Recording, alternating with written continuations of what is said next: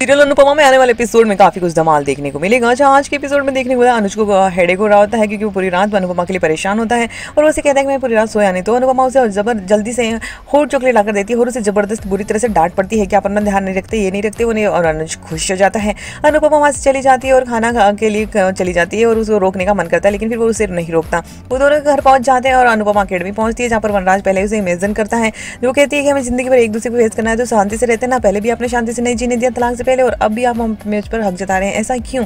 और ये सब कुछ वो नॉर्मल करना चाहती है, लेकिन ये सब कुछ अनुराज का सपना होता है और वो अनुपमा को देखकर उससे बात करने के लिए जाता है, लेकिन अनुज को कॉल पर बात करते हुए देख, वो वहाँ से उसका ऊपर बद पर दरवाज़ा बंद कर देता है। तो वही देखने को मिलता है कि घर पर अनुपमा खाना बना रही होती है नंदिनी और किंजल दोनों ही काम को लेकर, उसकी ईमेल आईडी इन सबको लेकर प्रेजेंटेशन को लेकर, और सब ये काम लैपटॉप और डायरी लेकर दोनों ही उसके लिए मदद कर रहे होते किचन में ही। और तभी बाह आती है और देखने को मिलता है कि वनराज और काव्या भी दोनों आते हैं और उन दोनों के बीच में लड़ाई झगड़ा हो रहा होता है कि तुम जिस तरह से ध्यान दे रहे हो ना कैफ़े पर तुम उससे हमारी बर्बादी ही शुरू होगी।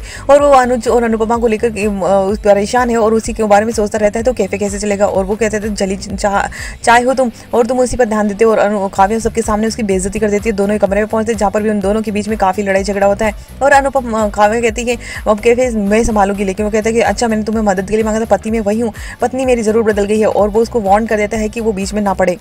उसी तरह अनुज घर पर खाना बनाने में काका की मदद कर रहा होता है और उसका बिल्कुल भी मन नहीं लग रहा है और उसका मन कर रहा है कि वो अनुपमा से अब भी बात कर ले।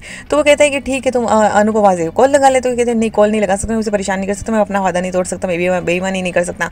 और वो कहते हैं कि ठीक है, तुम खाना जैसे तुम मांग ही सकते हो और उसे बहाना मिल जाता है।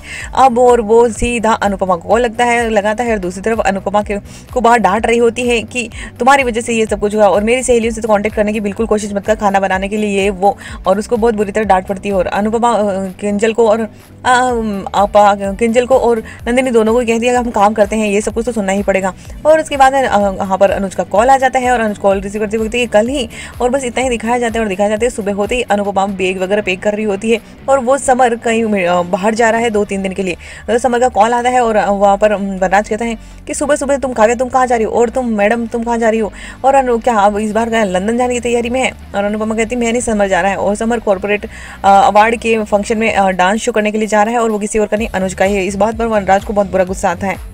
आने वाले एपिसोड में देखने को मिलेगा कि अब काव्या भी जॉब लेने के लिए वनराज से लड़ाई झगड़ा कर पहुँच जाती है अनुज के पास में और उस जॉब ऑफ़र को एक्सेप्ट करना चाहती है।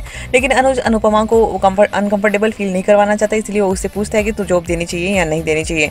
लेकिन जॉब तो अनुपमा के और काव्या अनुपमा के अंडर में ही काव्या करने वाली है। तो काफ़ी धमाकेदार होगा आने वाला एपिसोड और वनराज को तगड़ा झटका।